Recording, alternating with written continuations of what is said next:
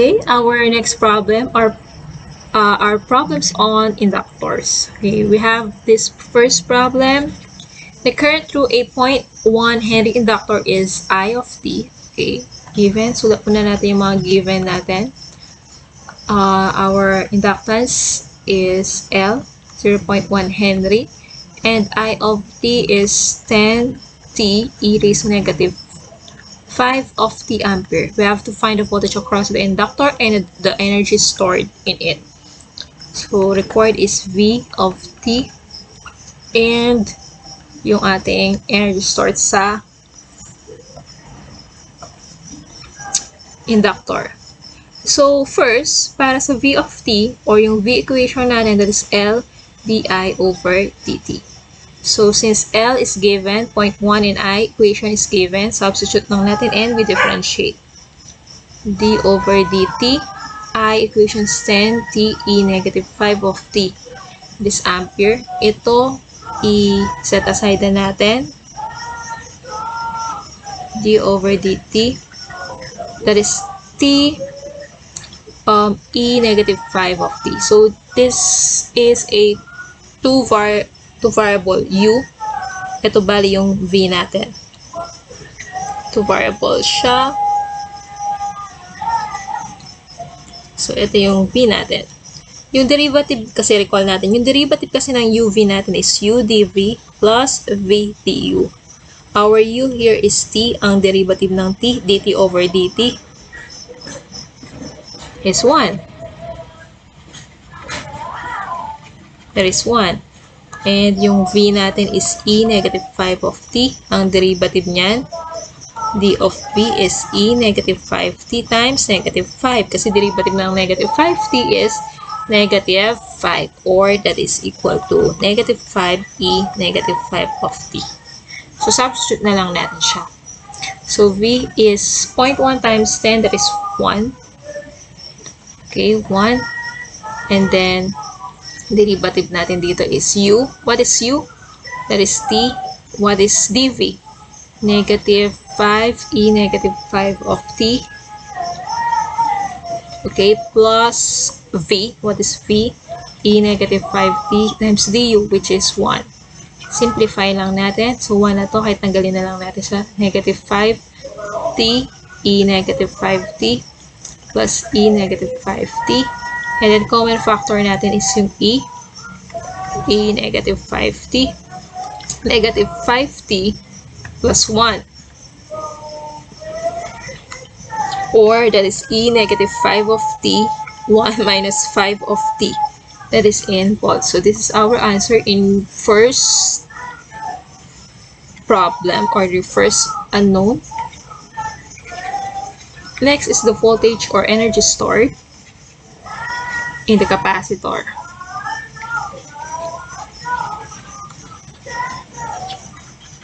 Formula for the energy stored in capacitor is 1 1 half Li. Sa, I mean inductor. Sa capacitor kasi is 1 half CV squared. Ito naman, 1 half Li squared. So, 1 half. Ang ating L is 0.1 inductance. Ang I natin is given. Ito siya. 10 T. Negative 5 of T. So, work as 1 half times 0.1 times. Okay this is squared. Tama? So 1 half times 0.1 times 100 tapos t e negative 5 of t squared. So this is ito. Ano ba yan? 5 tapos ito distribute mo lang t squared e negative 5 times 2 10 of t this is in joule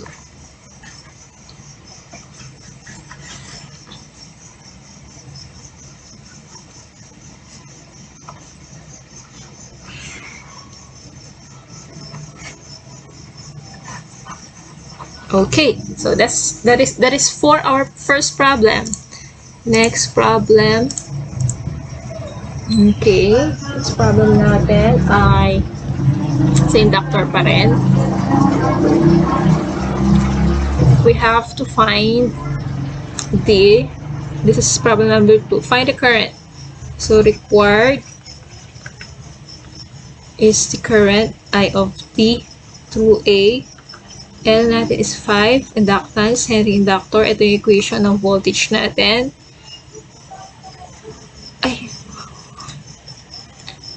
Also find the energy stored at W at T is equal to 5 seconds. So, magpo-fall siya dito. Dun sa 30. Greater than, dalawa lang naman kasi yan. So, at time less than 0, 0 ang voltage. So, walang uh, voltage yung ating inductor.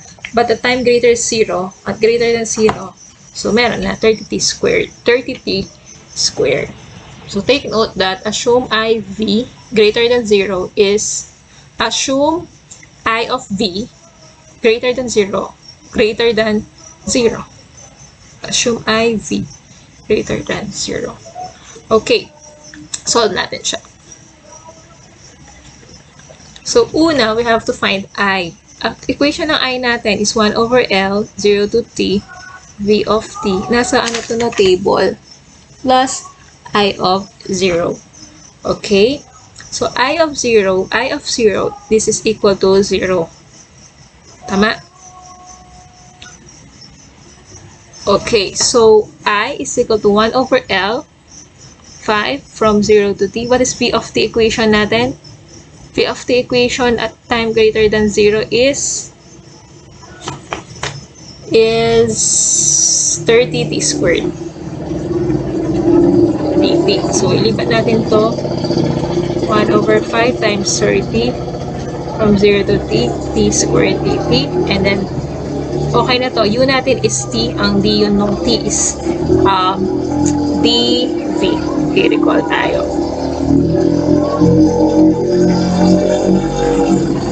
Sorry sa ano. And kasi yan ay 2. Ang d yun yan ay dt. So, wala tayong dadagdag. Ang gagamitin natin yung power formula. U and du is u n plus 1 over n plus 1. So, I is equal to 30 over 5 or that is 6. So, t n plus 1, 3 over n plus 1, 3 din. Ang kanyang interval ay from 0 to t. So, i is equal to 6. So, upper limit minus lower limit. So, t 3 over 3 minus 0 raised to 3 over 3. So, ito wala na yan.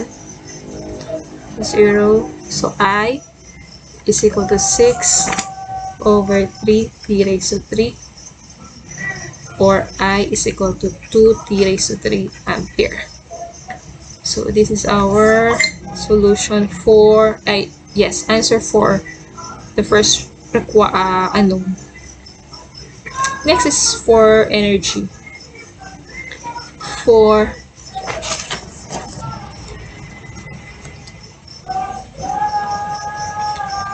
for energy stored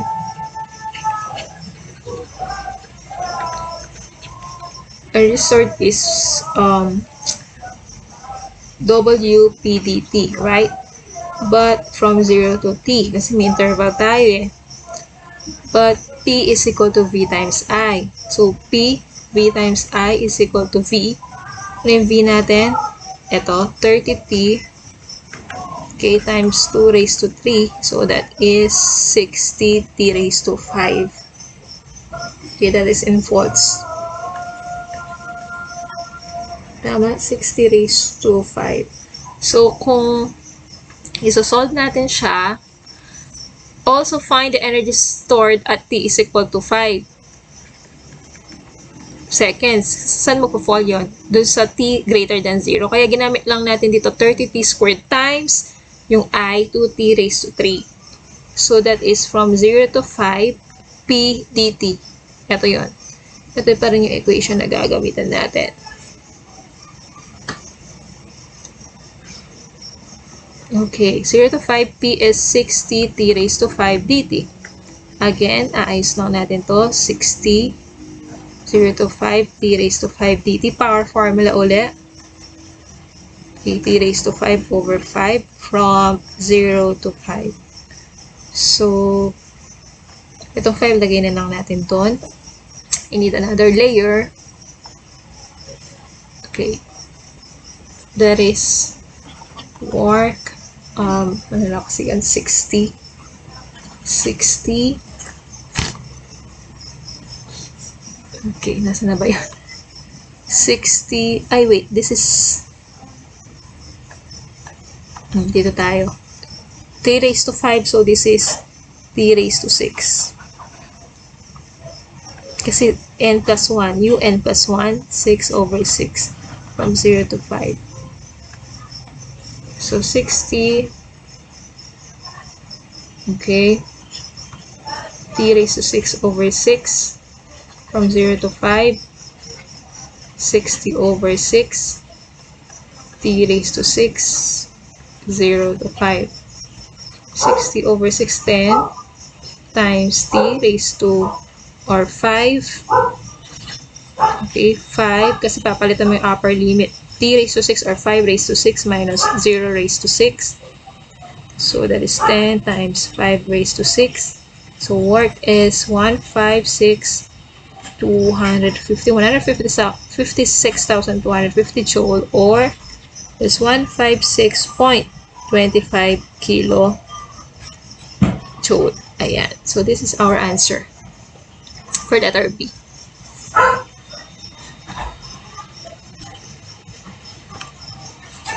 So that's for number 2.